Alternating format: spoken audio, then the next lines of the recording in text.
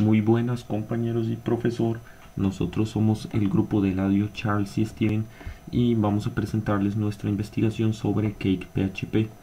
Para este ejercicio hicimos un pequeño CRUD gracias a Cake PHP, em, instalando las cosas necesarias que serían el SAMP para poder usar lo que es MySQL y el PHP como tal y el Composer que en la página oficial de, de PHP de Cake PHP nos dice eh, la página donde podemos instalarlo correctamente.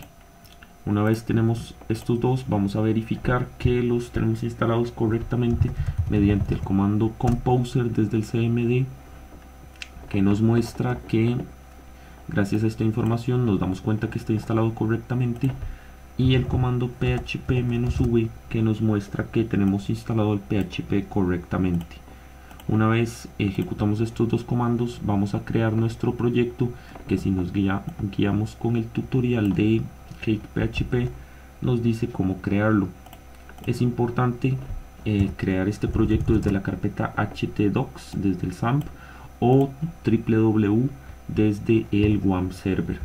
En este caso nosotros ya lo tenemos creado, pero aquí ustedes pondrían el nombre de su proyecto en este caso nosotros lo, tenemos creado como cake 2 una vez tenemos creado el proyecto como tal es necesario eh, bueno podemos ver la parte de lo que es el cake 2 funcionando correctamente.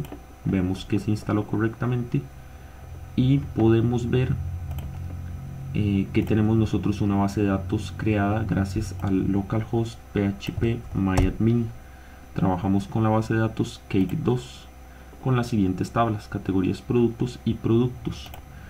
Aquí nos muestra que tenemos la conexión correctamente y esto es porque nosotros ya tenemos trabajado este proyecto y en el folder como tal de Cake 2 la carpeta tiene en la parte de source em, perdón en la parte de config el app.php en este archivo le damos las credenciales de nuestra base de datos.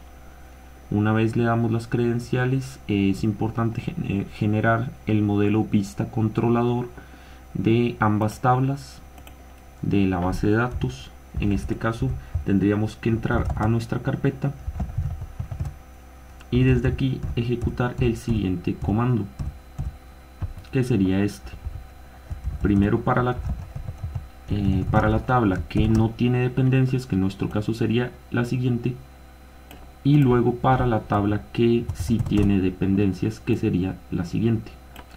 Como nosotros ya lo tenemos, no es necesario que lo hagamos, pero gracias a esto nos va a generar controladores y vamos a poder eh, generar las vistas de esta manera. En este caso tenemos una vista para eh, añadir que es código PHP con HTML incrustado igual para editar y para ver.